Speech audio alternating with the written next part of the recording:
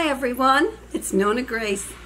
And I've got news about Emma and her babies. I've, she's got one baby so far. Today was the day that she should hatch, start hatching. So she'll sit on the nest probably another day or two. And then when she decides that if no more are hatching, that she will get off the eggs. But she got one baby. It's a yellow baby. I, she, I went to go to touch it and she snapped at me. So there's no checking these babies to see whether they're boys or girls. So I have to wait and see whether they crow or not. Okay, today I had a shout out done from Susie from Out West Homestead. Susie talked about me. She says I'm in her gossip column. Well, Susie, you're in my column today too. I don't have the gossip column, but I do have a Susie column. And it's Susie and Bill, their husband and wife, and they live in the southern New Mexico. I'm going to look at my notes a little bit, Susie, because I don't want to mess anything up that I have. Because a lot of times I get talking and I jump around and then I don't know what I've seen or not seen and what I've talked about and what I haven't talked about because I've gone off my list. Okay, they have chickens, horses, and donkeys. And they have several dogs. Um, one of their dogs likes to hunt rats. And one dog she just started calling it a snake hunter. I don't know if it always liked hunting snakes, but it does. And her dogs, I have to look down further on my, I'll put my finger there so I don't lose my track, because I did put this in after. I wanted to tell the names of the dogs. The dogs are Ben, and he's a very old dog. Sunny, and Sunny is the rat catcher, the mouse catcher, and Belle. I don't know what Belle does. If Belle, Belle is kind of, Belle comes to her name, which is she's doing very good when they call her because she's a lively little, she's, well, she's a big dog, but she's lively. Um, Susie tells her stories, she does her porch stories. I like her porch stories because that's where she talks about things that just come into her head. And um, they're interesting stories because it's like you're almost sitting there right with her and listening to her tales eh, of her area. Um, when she starts talking, you always hear this squeaking sound, and I often wondered what was that squeak sound. Well, one day she said that that was was her guineas. They every time she talks, they start talking, and what it sounds like in the video to me is what I was thinking is is a, it sounds like a swing like a squeaky swing sound when a swing is swinging. Well, the guineas are making that noise. And so, um, let me turn the page if I have any else. They work and what do they do on their on their channel? Well, I saw Bill on the roof the other day. He was fixing some um, where the so that the rain wouldn't come in. He was he was putting a, a sealer like stuff on the nails and the seams he was doing that and he works in the garden. He's a very hard worker. He's always seems like he's doing something. He was digging trenches one day because they were hoping to get rain and they wanted to direct the rain to go so that it would get to the plants. They have a few forest gardens.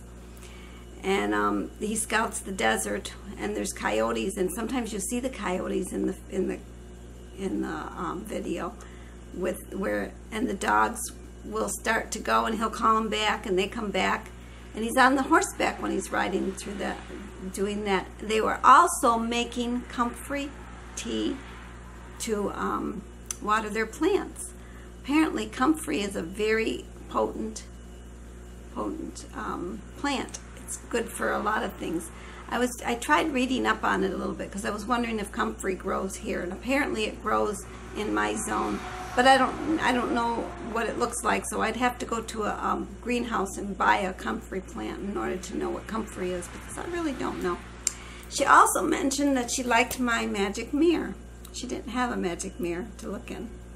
But I'm gonna look in it and guess who I'm gonna see? I don't know.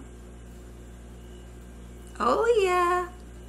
Uh, hi Susie. I see you. Yeah I do. You're on my radar today I and want to tell you I've enjoyed the talks. And I was hope I was wondering how is your knee? You had fallen on some rocks and that uh, damaged the knee and you're ho hoping to hike up the mountain. And as soon as that knee is healed. Also I want to say I'm sorry that you lost your rooster. That was um forgot what his name was. I wrote it down, but I forgot what it was. Oh dear, Red John, I think it was maybe something like that. Let me see. The rooster, yeah, Red John. I I got it right. Wow. I'm always amazing myself when I remember something that is it's not it's not from my from a long time ago. It's just from a short time ago. But um, I, I amaze myself that I remembered. Well, Susie, I also have to call out somebody else that mentioned me today. Actually, I was mentioned two other times. Can you believe it? Oh, my stars. I was watching AJ, and um, he said that he, he likes my channel too. And I watch him because he does worms. I'm really interested in worms. I like bugs. I guess I'm a bug girl. I like bugs. The only bugs I don't like are spiders, and they can they can stay away. If I step on a spider, I actually apologize to it. When I see other bugs, I will place them to where they're safe, unless they're a real nasty bug. But I don't know any nasty bugs other than spiders. I just don't like spiders. I don't like snakes, which I'm glad I don't have rattlesnakes. And I don't like mice or rats. Thank goodness you have a dog, a dog that likes to catch them. My dog will chase around, but I don't know if he would catch it. I know he would chase it. He, he acts, he's better mouser than my cat. And I was also mentioned, not only by AJ, and AJ's channel, I should tell you what his channel is. Um, AJ's Green Topics is what it is. He's got the red wigglers is what he does. He, he, he also does some gardening and um, he also has um, these towels that he talks about, the microfiber towels, the Nor Norwex, Norwex, Nor Norwex microfiber towels. He talks about them too. But I was also mentioned on um, Mike's channel, which was Carnomad. Carnomad is a keto, well, he used to be keto. He's, he's um, carnivore now. I had to think, what, what the heck is he? He is carnivore, yes. He's carnivore now.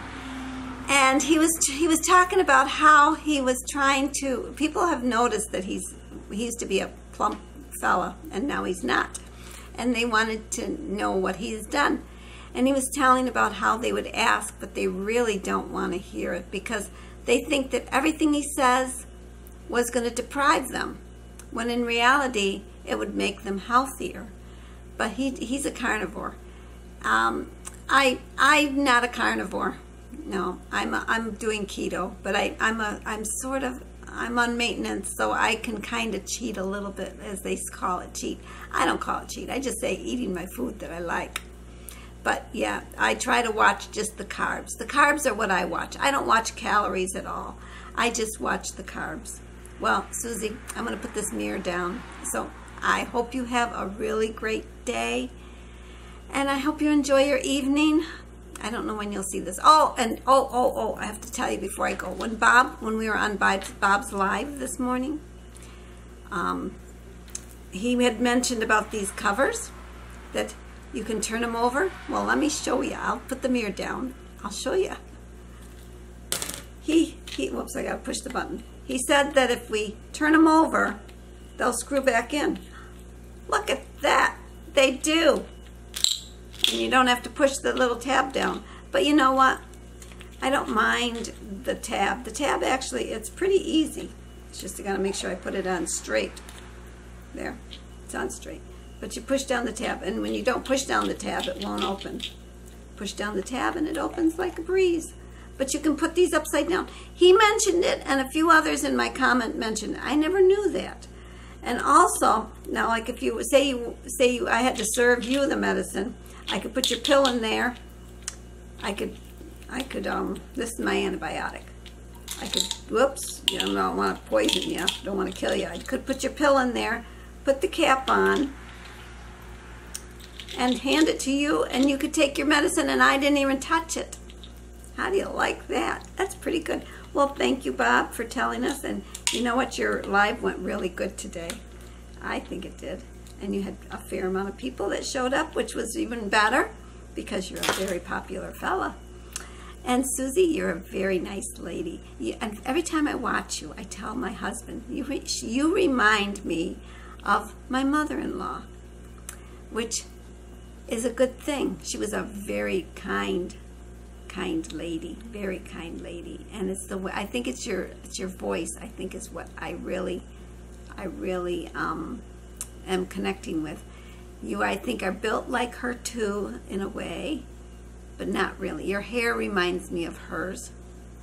Um, but you remind me of her. Well, I guess that's it. I, I didn't make you laugh today. I'm sorry. I had nothing funny to tell you. Jim's not here. He's actually gone to mow the lawn at the apartment house. He said if he didn't do it soon, it would get bad, and he uses a push mower when he's over there.